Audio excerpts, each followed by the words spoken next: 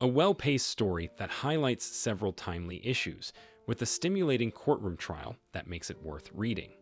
So, let's review this book. But before we start, make sure to subscribe to our channel and press the bell icon to stay tuned. A soul stirring novel about what we choose to keep from our past and what we choose to leave behind. Olivia McAfee knows what it feels like to start over.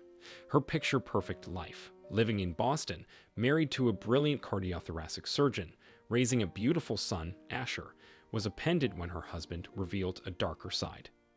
She never imagined she would end up back in her sleepy New Hampshire hometown, living in the house she grew up in, and taking over her father's beekeeping business.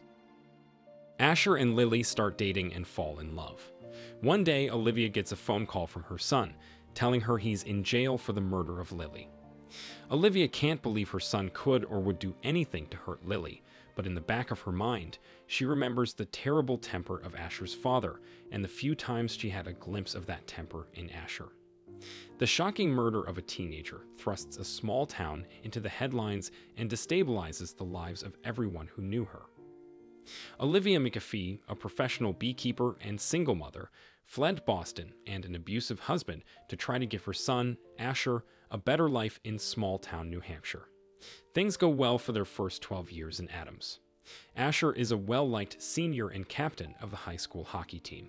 He barely remembers his abusive father. He and his mother have a great relationship, and he's preparing to go off to college. Then he meets Lily Campanello, a new girl who, like his mother, has fled a troubled past. Things get very serious quickly. Then, one afternoon after they've had a fight, Asher finds Lily dead at the bottom of her basement stairs. Before he even has time to grieve, he's arrested and charged with her murder. What follows is a long and public courtroom trial in which everyone's secrets are exposed and even his own mother begins to question his innocence. Told in two storylines, one Olivia's in the present and one Lily's, going backward from the day of her murder. The novel is well plotted, but sometimes feels long winded, including characters who don't have much significance and details that don't seem relevant. It takes a while for the book to get moving, but once the trial begins, it becomes more compelling, and the courtroom scenes are where the writing shines brightest.